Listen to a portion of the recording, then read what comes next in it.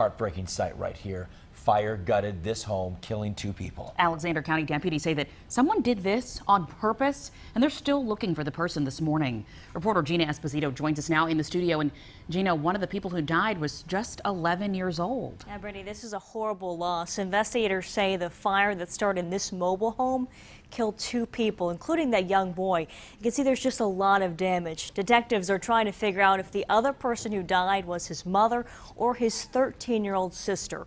The fire started at that mobile home on Pine Meadows Lane near Black Oak Ridge, north of Taylorsville, around 11:30 Saturday night. We're told there could have been three people inside. The Alexander County Sheriff's Office says firefighters found two bodies badly burned when they went through the home.